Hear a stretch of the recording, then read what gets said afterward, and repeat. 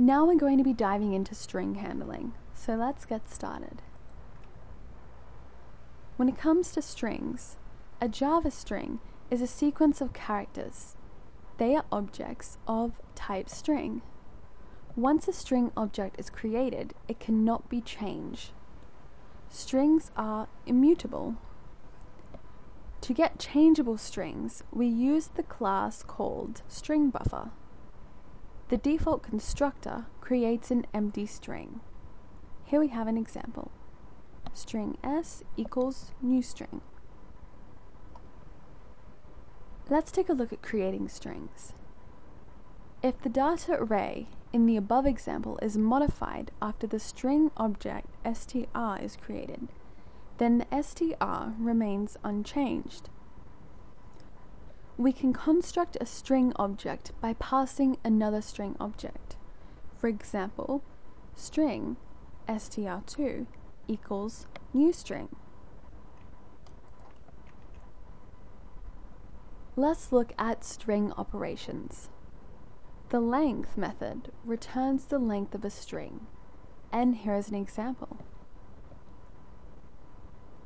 The addition or plus operator is used to concatenate two or more strings, and we have another example here. String concatenation in Java. In Java, string concatenation forms a new string that is the combination of multiple strings. And there are two ways to concat a string in Java. We have by the string concatenation operator and by the concat method.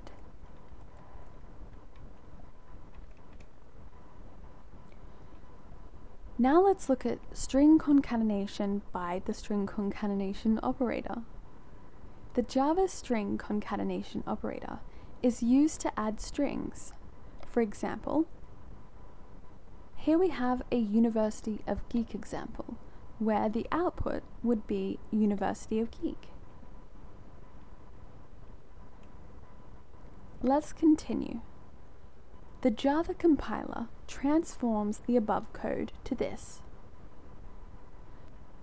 The string concatenation operator then produces a new string by appending the second operand onto the end of the first operand.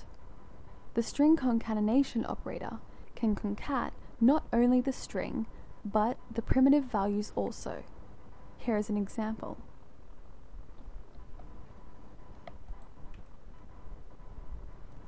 Now let's look at string concatenation by the concat method. The string concat method concatenates the specified string to the end of the current string, and here is the syntax. Let's see this example of the string concat method.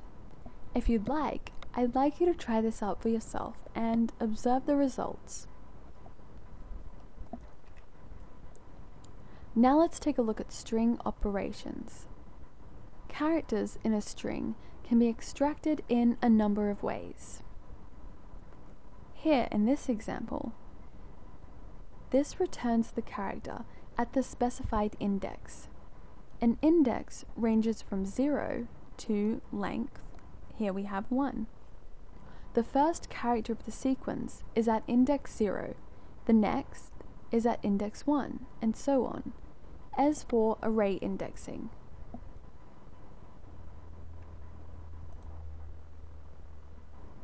getChars copies characters from this string into the destination character array.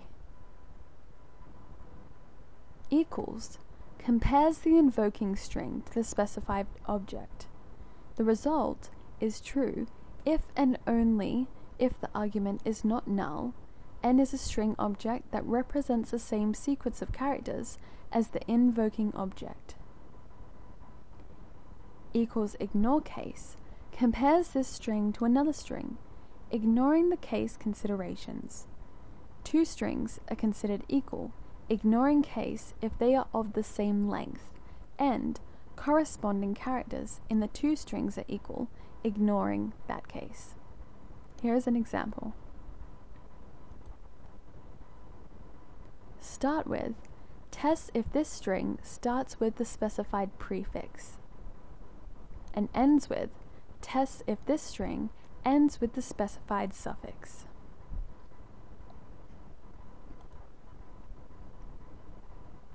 In this case, starts with tests if this string starts with the specified prefix beginning at a specified index. Compare to compares two strings lexicographically. The result is a negative integer if this string object lexicographically precedes the argument string. The result is a positive integer if this string object lexicographically follows the argument string. The result is zero if the strings are equal.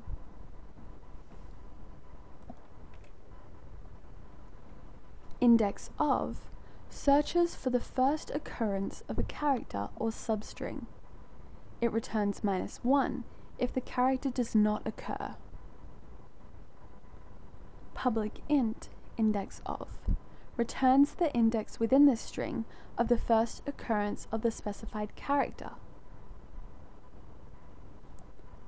Public int index of string str returns the index within this string of the first occurrence of the specified substring. And here's an example.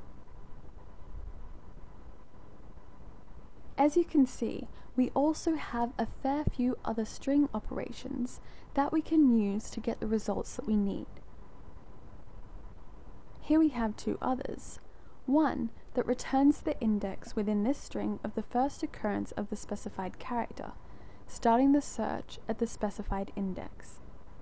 And this one returns the index within this string of the first occurrence of the specified substring starting at the specified index. And here's another example.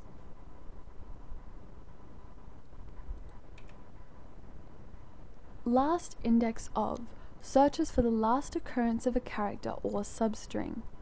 The methods of this are similar to index of. Substring returns a new string that is a substring of this string. The substring begins with the character at the specified index and extends to the end of this string. And here we have two other examples.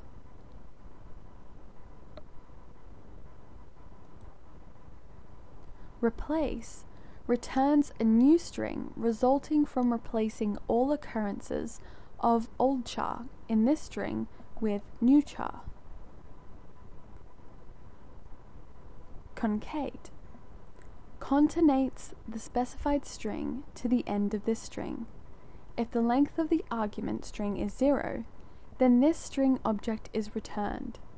Otherwise, a new string object is created containing the invoking string with the contents of the str appended to it.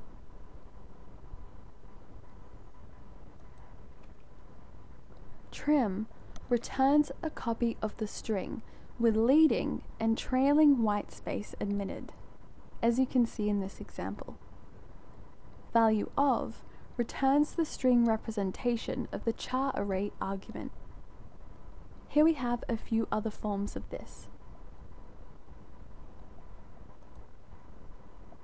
To lowercase converts all of the characters in a string to lowercase and to uppercase converts all of the characters in this string to uppercase, as you can see in our examples. Let's take a look at string buffer. A string buffer is like a string, but it can be modified. The length and content of the string buffer sequence can be changed through certain method calls. String buffer defines three constructors. We have the string buffer itself, string buffer int size, and string buffer string str. When it comes to string buffer operations, the principal operations on a string buffer are the append and insert methods, which are overloaded so as to accept data of any type. Here are a few append methods. The insert methods adds the characters to a specified point. Here we have a few insert methods.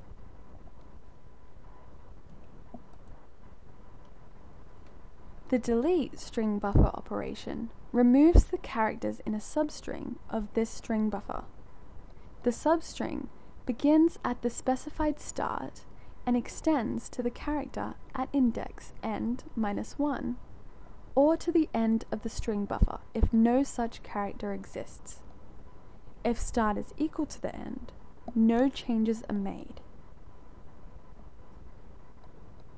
Replace replaces the characters in a substring of this string buffer with characters in the specified string. And the substring returns a new string that contains a subsequence of characters currently contained in this string buffer. The substring begins at the specified index and extends to the end of the string buffer. Here you can see three examples which show these string buffer operations. We have capacity. The capacity returns the current capacity of the string buffer. With char at, the specified character of the sequence, currently represented by the string buffer, as indicated by the index argument is returned. With reverse, the character sequence contained in this string buffer is replaced by the reverse of the sequence. And with length, this returns the length of this string buffer. As you can see, there are also more examples.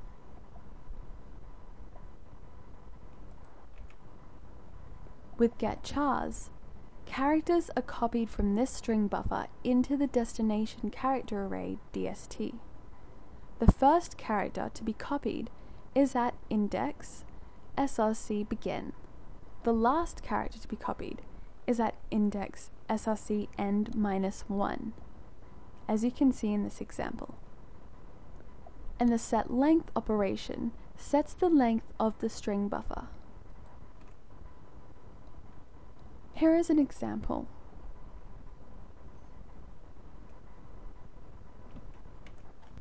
Feel free to try out this example code on your own or post in the discussion if you have any questions. That is the end of this lecture, and I'll see you in the next one, where we learn even more about Java programming.